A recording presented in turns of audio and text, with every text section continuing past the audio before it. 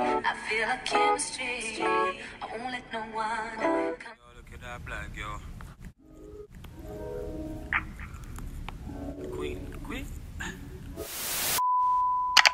Hey babes, welcome and welcome back to my channel. It's your girl Suzie. If you're new, go ahead and hit the subscribe button because you're gonna love it here.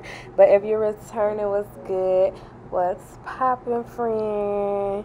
So y'all, in today's video, we're going to be making a skirt out of uh, the tapestry material, tapestry, tapestry, little blanket or whatever. So um, right here I just flipped it over and y'all whenever using this material and this blanket make sure y'all give yourself a inch or two because this material do not stretch at all and also at the top you want to cut up a little higher when making a skirt because you want to go ahead and fold it over like that um, because you want to put your elastic band in there and at first I was going to do a zipper, but I changed my mind, so that's why I'm pinning the sides now. So since we already pinned the sides you want to fold the back part down so you don't pin, I mean sew both of them together. And then we're just going to go ahead and sew the waistband like so.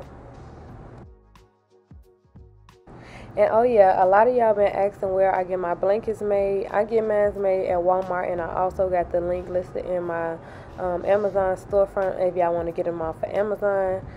But yes, that's where I get them.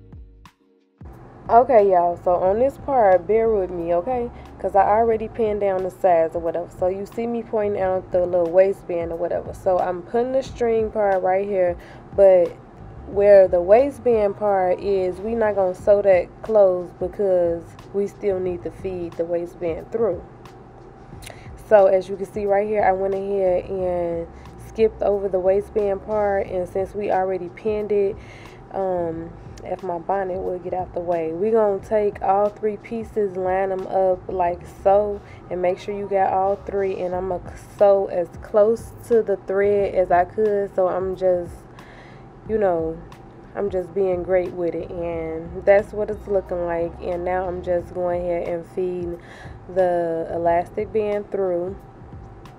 And y'all, this is a long needle. I don't know if I showed y'all, but this is a super long needle, a safety pin, and that's it. And it works like magic. But yes. And then we're going to go ahead after that and hem up the bottom of the skirt. But y'all, this is the final and finishing look. Super cute. Y'all, she loved it. And this was the only video she was able to get. Super cute. But to make sure y'all like, follow, and subscribe for more videos like this. I love you guys oh so much. And I'm out. Peace.